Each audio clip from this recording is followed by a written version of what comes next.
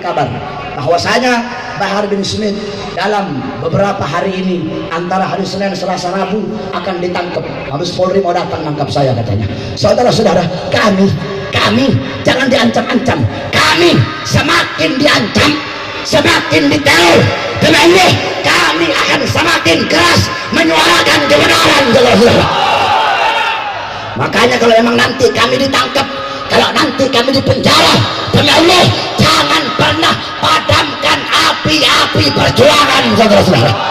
Tetap sampaikan kebenaran, walaupun lidah kamu harus dipotong.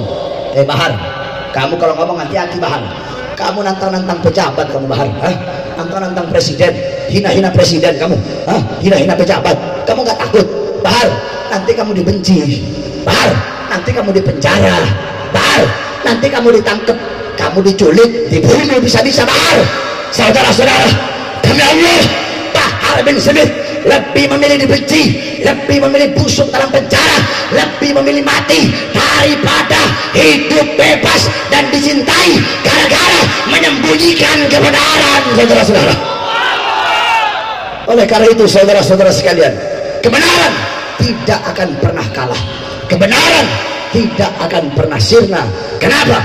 Karena kebenaran milik Allah. Kebenaran pasti akan menang.